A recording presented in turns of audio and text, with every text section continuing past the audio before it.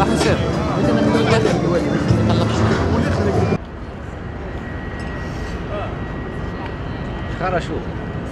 شكرا إحنا أول حاجة نقولوا مبروك للمصدرين التونسيين مبروك للمؤسسات التونسية المصدرة بافتتاح هذا الخط. الخط هذا أكيد أنه مش يكون عنده مردودية إيجابية على صادراتنا.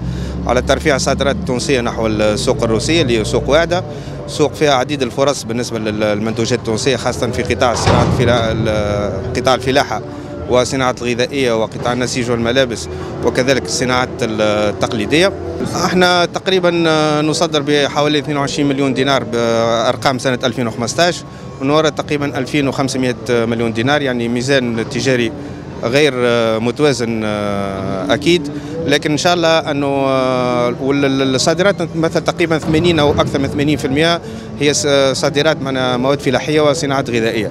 لكن إن شاء الله بافتتاح الخط هذا بتشجيع المصدرين كذلك إحنا كمركز نضب الصادرات عن طريق الصندوق اللي نتصرفوا فيه اللي هو صندوق نضب الصادرات باش نقدموا دعم للمصدرين والمؤسسات التونسية التخفيض على كلفة النقل تقدر ب 33% معناها ثلث تقريبا من كلفة النقل يتحملوا الصندوق هذايا بالنسبة للمواد الفلاحية والصناعات الغذائية و25% بالنسبة لقطاعات الصناعات التقليدية.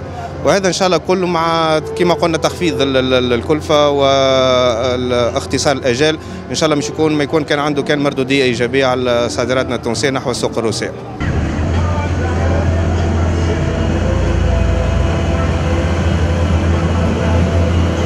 الخط هذايا جاء كفكرة للمصدرين التوانسة لتصدير المنتوج الفلاحي والغذائي الصناعي.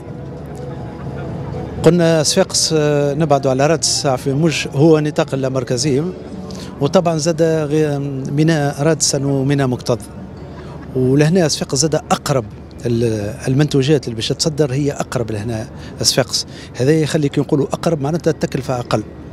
طبعا الميزة الثانية نتاع الخط هذايا باش نمشيو لنوفورسيسك ما نمشيو لسان بطرسبورغ. علاش؟ باش نعملوا مدة رحلة أقل من المدة مدة الرحلة البحرية المعمول بها تو هذا زاد من شأنه باش يقلص التكلفة. كي نقلصوا في التكلفة نتاع النقل طبعا قلصنا في التكلفة نتاع المنتوج التونسي باش يكون مروج مليح في الأسواق الواعده هذه وأنه يزاحم المنتوجات نتاع البلدان الأخرى في السوق الروسية. كما قلت لك هي منتوجات فلاحية. مثلا الخس السفنارية البصل الطماطم. طبعا فما صناعية غذائية كما الحلقوم نتاعنا الشامية تتصدر. هذوما كلهم زيت الزيتونة معلب وهذا نعملوا عليه برشا. التمور القوارص بانواعها الكل الغلال في الفترة نتاعها إن شاء الله في الفترة الصيفية.